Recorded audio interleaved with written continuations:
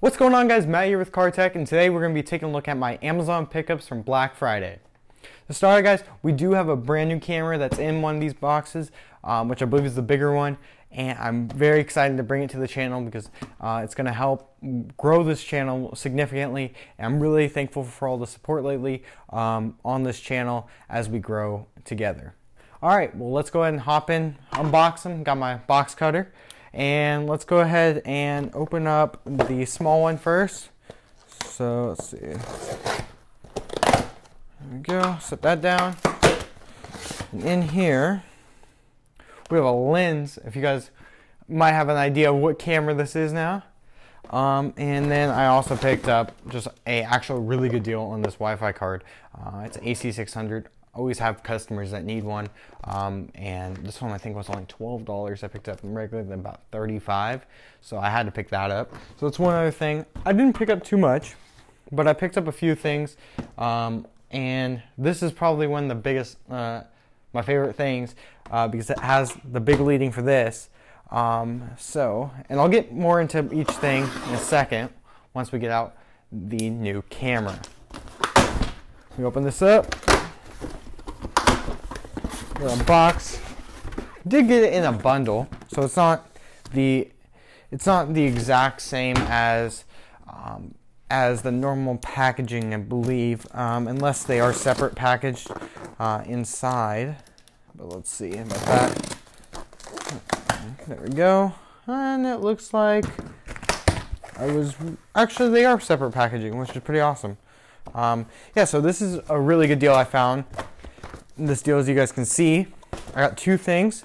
Um, this bundle is actually $4.99, um, which is actually the price of the camera, but it did come with one bonus accessory, which is the Video Micro from Rode. We're going to be testing this out um, actually in a minute when I test out this camera, and then um, I will also do a full in-depth review as with everything that you see here, except except for this, I'm not going to do a review on unless you guys want to see some uh, Wi-Fi card reviews.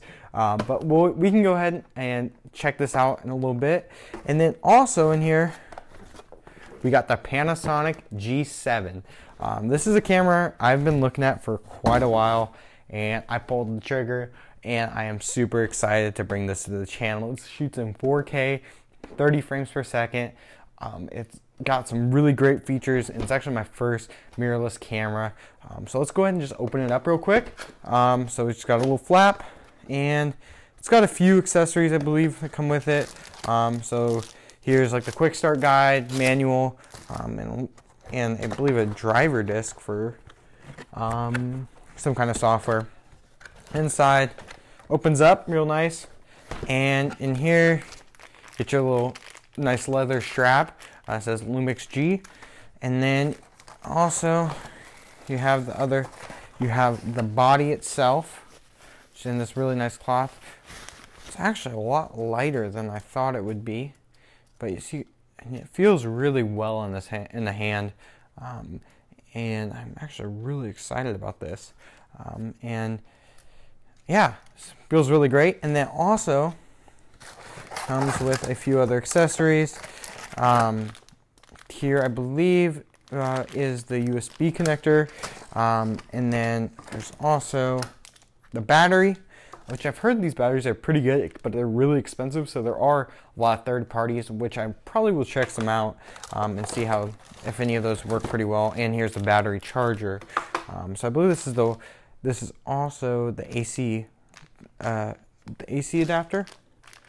No, so th this has this has the plug on it, so that's cool.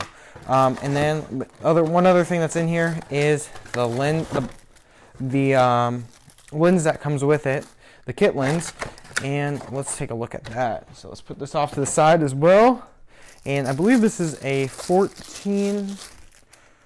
Who's this? 14 to 42. So